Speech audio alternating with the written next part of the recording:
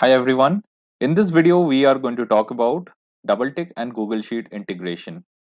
Basically, if you have a Google Sheet which contains your customer data such as name, phone number, the customer group, their other customer details such as customer status, whether they are paid customers or free customers, or the customer lead stage for your new leads, whether they're cold, hot, warm.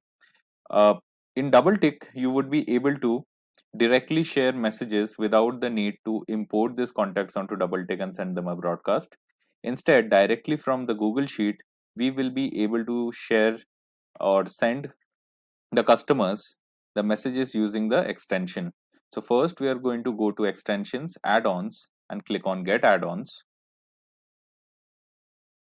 Here we are going to search for the DoubleTick extension, DoubleTick WhatsApp broadcast we need to first install continue select our google account allow permission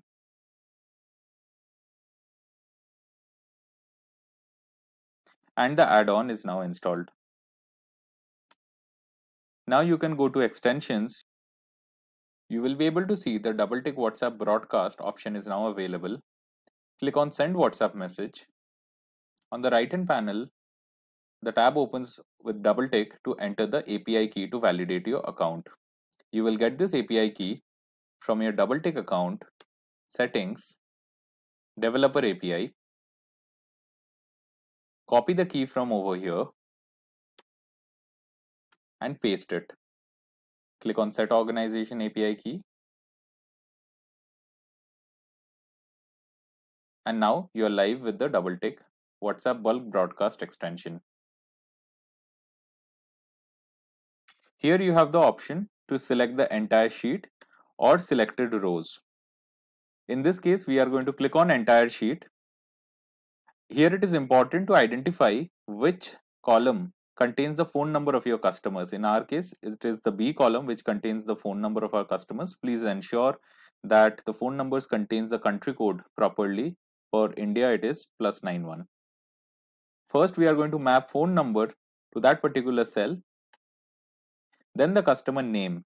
In our case, A column with the header name contains the customer name. So we are going to select name. Thirdly, we need to select the broadcast channel. In our case, you would find that the column group has the broadcast channel names as A, B. So we are going to select group and click on next. Here we are going to be asked for selecting the template that we want to send and we are going to click on send message.